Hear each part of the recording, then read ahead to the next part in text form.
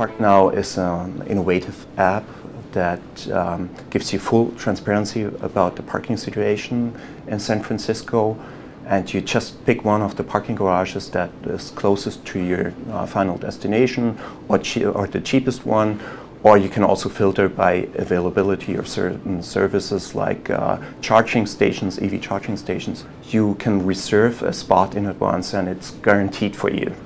So you know uh, where you're headed to, you go straight to the parking garage and there's no more circling the block and about, according to some studies, 30% of congestion um, uh, is caused by inner city traffic of people circling the block and uh, we can avoid that. And with Marta's help, we can optimize the whole journey. So it's not just the circling part, it's the whole trip. Uh, so from starting from the homes or wherever people start from in order to get to another point.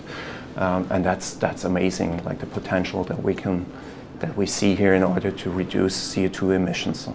One first step on the process of collaboration was understanding the needs and the dynamic of the garage system, also merging the data sets. So we needed to, to have uh, sign non-disclosure agreements to be able to uh, sign the two uh, data sets together. After we found the solutions, for all sometimes a number and a nice uh, result, mathematical result, we are happy with, validated.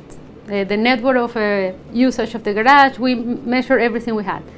And then we have the, the challenge of, is this going to be useful for BMW? How are they going to use it? and we did a visualization platform that everything we uh, measure can be accessed online, interactive, with a password and then the people at, uh, in Mark's team can now play with their own result of the garage. And that was the first uh, test bed of a, a, visualization platform was motivated by this need from us to communicate our results to BMW. And now we are like going into that uh, direction and we are, we are ev evolving a lot uh, in the visualization platform. We even won a MIT CSAIL Big Data challenge both the visualization and prediction and it was the seat uh, platform was for the garage.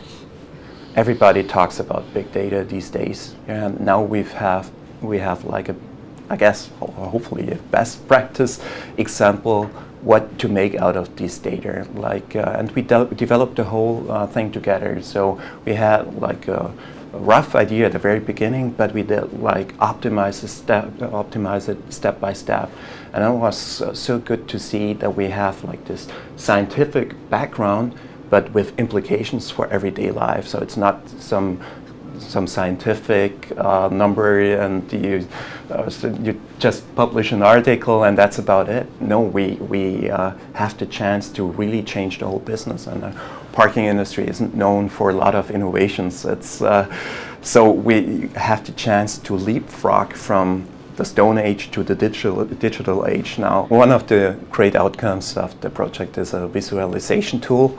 Uh, so it's easy to find out um, for each and every garage where people are coming from. So you can literally view it on, on the map where, are, where the hotspots are and uh, where are areas that are not so popular for a certain garage. And that's so cool because everybody understands these kind of uh, graphics, a map, um, instead of providing pure data that is hard um, to deal with.